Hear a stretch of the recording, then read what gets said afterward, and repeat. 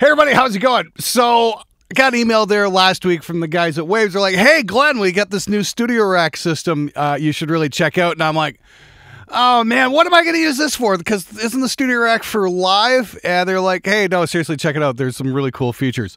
And I'm like, okay, whatever. So I'm working on a mix for something else, a mic demo coming up, and I thought uh, I'd try out the studio rack system. And yeah, it's kind of neat. There, there's some cool features, and it lets me do things in a certain way that I've always wondered how the hell I would pull it off. Um, this is the mix I'm working on right now.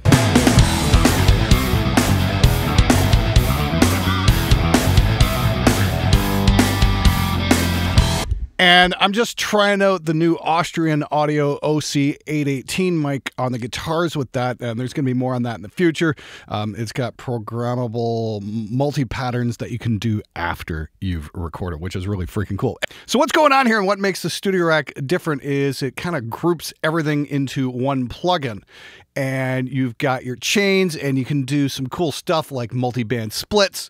And I'm going to show you guys what that's all about. And what what really works for me here is that you can just grab one instance and drag and drop and it'll throw it on other tracks. So if you're doing a large project and you want to get your settings across multiple songs really quickly, this is a very efficient way of doing it. It's also great for templates, that kind of thing. And you can load these up any way you'd want. Like I've got one over here for my mastering chain. And what I got here? I got the J37 tape, SSL comp, ultra maximizer and a, and a meter as well. I'm noticing when I click on these, it it closes one window out and then brings up the other one. I don't know if it's possible.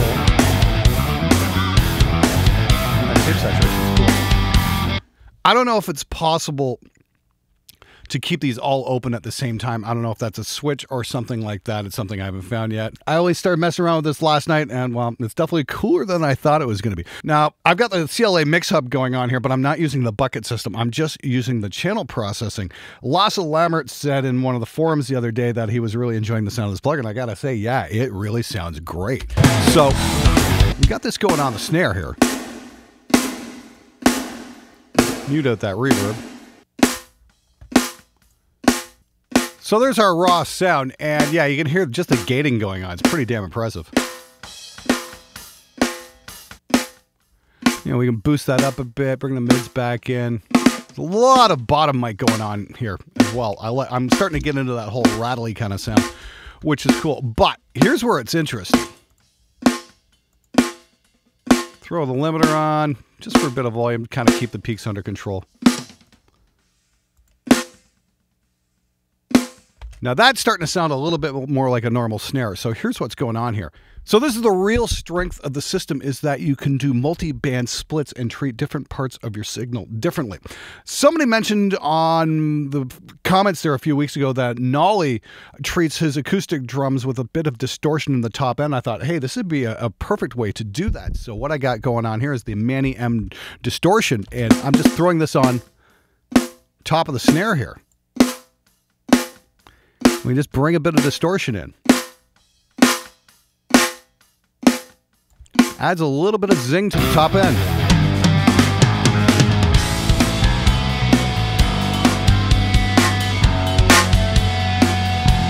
Little goes a long way. For a bit of verb on. And again, I thought I think I brought a little too much bottom on that snare. Now that's sitting in the mix. On the on its own, it was sounding a little weird, but in the mix, damn, that really worked.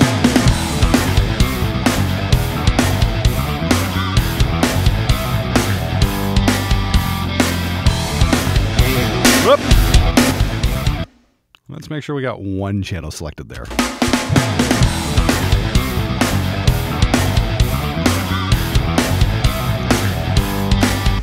And the great thing is, you know, for drum processing, that kind of thing, it's just been a case of studio rack after studio rack using the CLA and the limiter and the multiband split with a little bit of distortion, even on the toms. And that, that really helps the toms jump out. I'm really digging it for this purpose.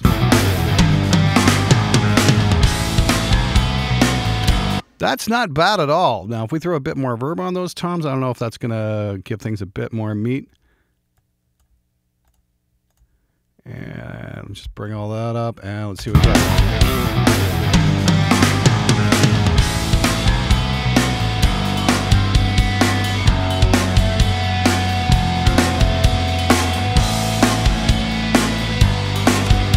And I've also got the exact same thing going on with the kick drum with the distortion as well. So I've got, oh, I've got the SSLG channel on the kick. And we got that multi-band split going on as well. A little bit of Manny M distortion going on. The extreme top. And let's check that out in the mix. Well, just how much of a difference that distortion makes in the top end.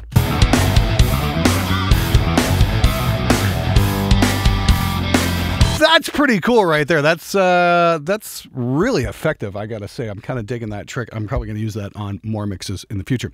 The other place I've got something going on with it is the lead guitar here. Now, John Suki uh, laid down something really amazing here.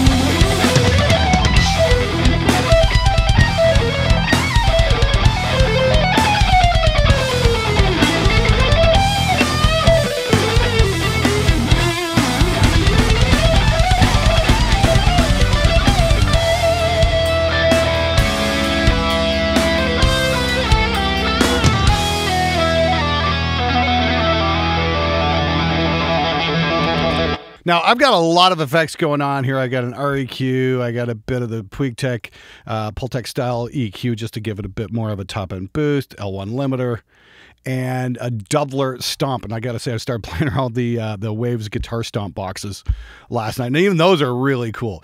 My big gripe here with the whole interface thing is this is a 4K screen, and those effects come up as tiny.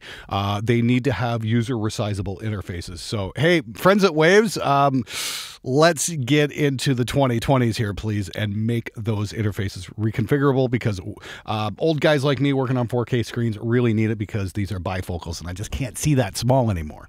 Now, the other thing is, besides being able to do multiband, we can do parallel splits where we can split the signal into three different paths, and I can apply effects individually to each of those paths and then blend according to taste. So if we take a listen here. Let's uh, let's solo the guitar up first. So there's our delay. So there's our delay. And there's a little plate reverb. And a flanger as well.